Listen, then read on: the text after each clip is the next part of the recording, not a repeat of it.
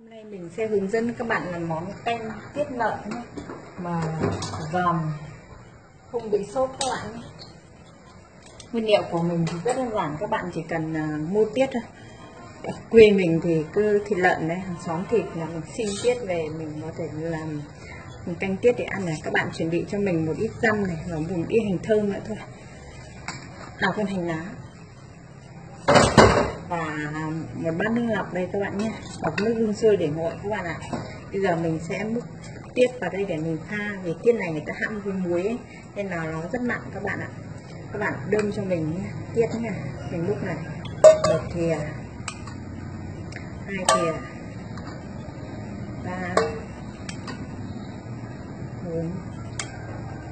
Năm. Các bạn múc cho mình 5 thìa tiết thì các bạn có thể múc cho mình 8 đến 10 thìa nước lọc nhé. Tùy theo họ ờ, ờ, hãm tiết xem nó có nhiều muối hay không các bạn nhé.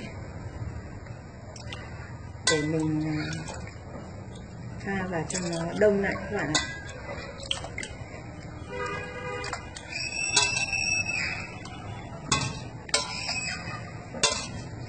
Tám thìa nước lọc này các bạn ạ. Bây giờ mình sẽ trộn đều nhé, để cho nó đông lại các bạn nhé.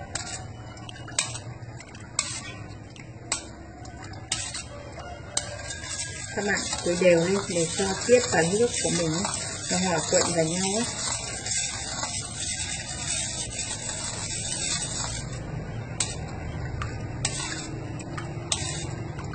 như này là đã hòa quyện vào nhau rồi, các bạn để cho mình tầm 10 phút nhé, thì nó sẽ đông lại nhé.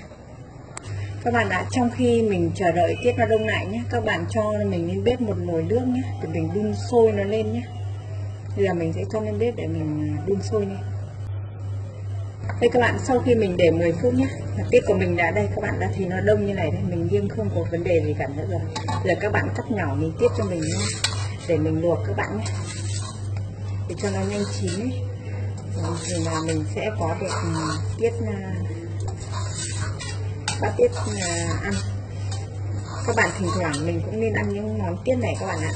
Vì cái tiết này nó rất giải, nó rất nó giải các chất à, độc tố trong phổi của mình ra đấy các bạn nhất là các bạn ờ, có hít phải những cái bụi bẩn ấy, hoặc là tóc tiết ấy, thì ờ, với cái món tiết này thì mình ăn vào ấy nó sẽ cuốn theo đi phổi của mình nó sẽ sạch sẽ hơn các bạn ạ.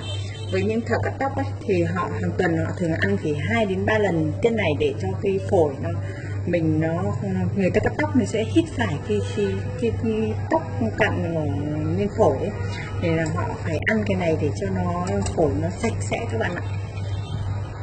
Bây giờ mình sẽ cho lên bếp để luộc các bạn nhé. Đây các bạn nồi nước của mình đun đây. Nó sủi rồi nhưng mà các bạn cho nó sủi thật già đi thì mình mới cho tiết vào. Thì nó sẽ không bị bết lại dưới đáy nồi các bạn nhé. Các bạn đun cho mình. Thêm ra để đấy với món này thì các bạn không phải cho muối với gì cả vì tiết họ hãm đã mặn ấy. Nên là mình cứ nấu đã nếu mà trông nó mà nhạt ấy thì các bạn có thể pha chế sau nhé. Thì mình cho thử vào thì thì mình sẽ đổ tiết vào bạn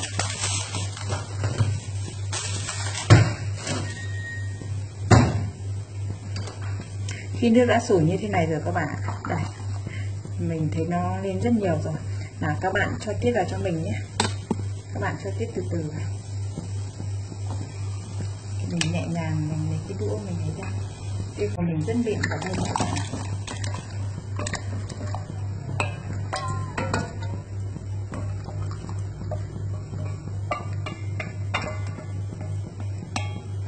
với món canh tiết này rất đơn giản, nhưng mà khi chúng ta không biết cách pha à, tiết ấy, thì à, mình sẽ bị ăn tiết nặng các bạn ạ. Các bạn đun cho nó chín cho mình nhé. Đây các bạn khi mình quanh tiết nhé mà có cái bọt này thì các bạn vớt ra cho mình nhé. Bạn múc bỏ. đi. Để cho cái tiết này của canh của mình mình nhìn nó sẽ ngon hơn nhé. Khi có cái bọt này nhìn à, cảm giác là ngon.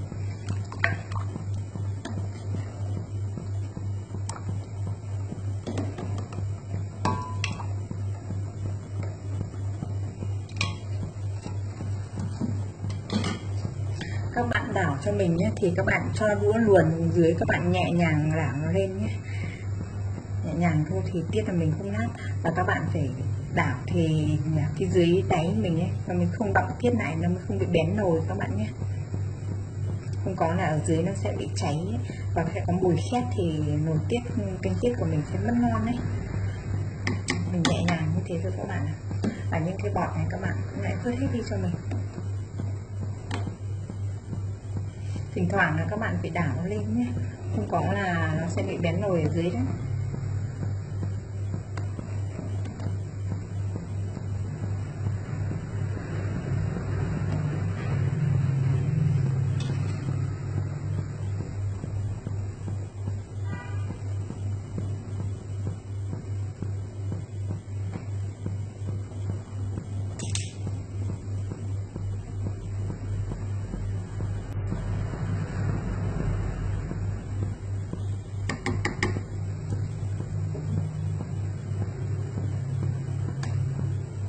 Mỗi lần lần đảo là cái bọt này nó sẽ lên ấy. Thì các bạn là vớt nó đi cho cái canh tiết này nó trong hơn à, hơn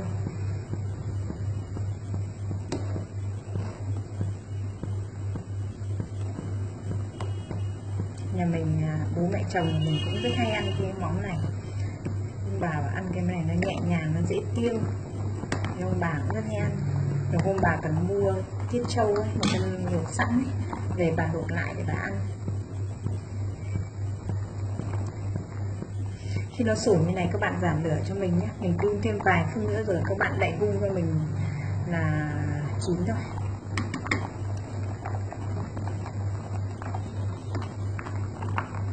vân nước bọt lần này thôi. Là mình có thể tắt bếp và đậy vung lại là 10 phút sau là tiết sẽ chín.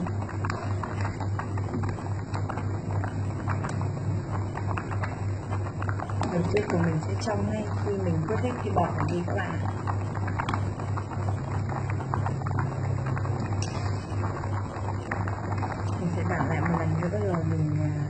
Bếp và lại ngồi lại 10 phút là chín thôi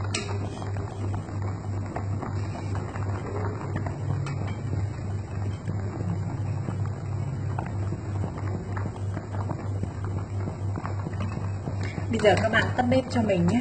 Và mình đậy vung lại 10 phút sau mình sẽ dở ra là tiết của mình sẽ chín Thế các bạn, sau khi mình để là 10 phút rồi nhé. Bây giờ mình sẽ cho ra bát để mình thưởng thức cho các bạn. ạ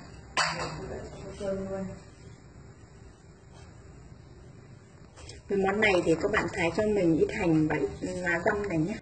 Thì là với món tiết là rất hợp và ngon. Có mùi thơm của hành và lá răm. Sau khi mình múc tiết ra là mình cho lên là hành củ này thì các bạn cứ để dài cho mình. Rồi, bây giờ mình sẽ múc bát tiết ra bát này nhé.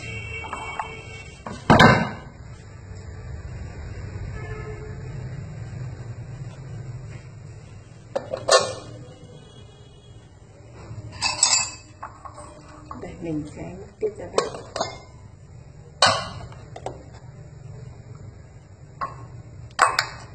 cái món canh tiết này rất đơn giản mà lại ngon.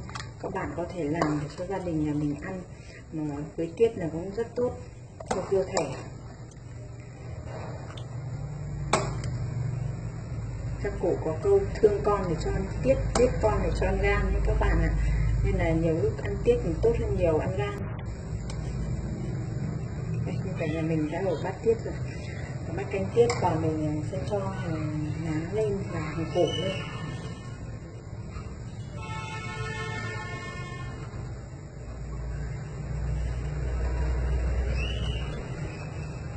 Mình dìm xuống để cho cây hành lá và hành củ và răm nó chín nhé các bạn ạ.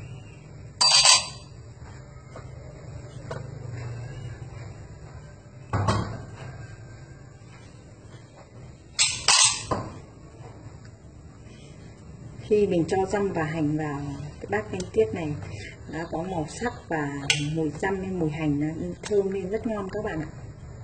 Bây giờ mình ăn thử nhé.